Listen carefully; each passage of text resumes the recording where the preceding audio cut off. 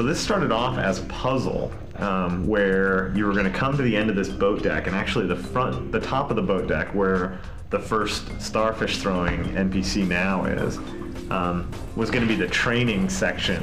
Um, and the idea was going to be that there was going to be invisible lasers all over this area, and you were going to have to spray something into the uh, ahead of you to expose the beams, either smoke or frost or something uh, in front of you.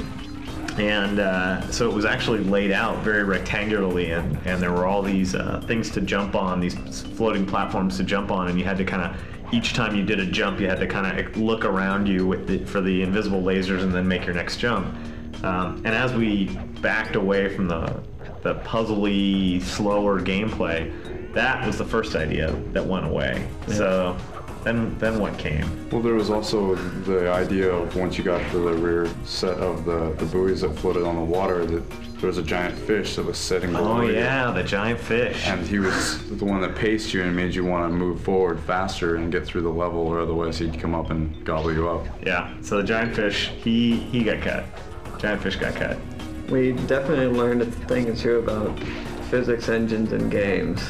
How oh, yeah the predictability of something animated over relying on the physics engine to work itself out yeah. is usually yeah the physics engine tends to work well in, in really clean isolated situations yeah. or in shrapnel or in other situations where you want good looking sort of ambient animation but not as good for stuff that has to work 100% of the time right. super predictably um, and then i think environmentally i think this was one of our our first levels that really had a good kind of um, I don't know, misty, really rich kind of textured feel to it. You know, the fire on the side, right. which you can see from outside, and the approach even.